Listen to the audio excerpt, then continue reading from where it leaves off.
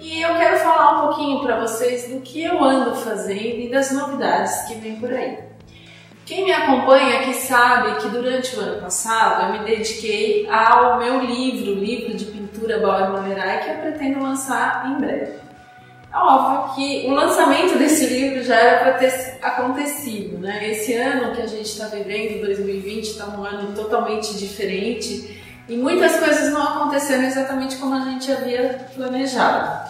Outras coisas boas aconteceram também. Por exemplo, a Filó, que entrou nas nossas vidas, acabou de chegar aqui.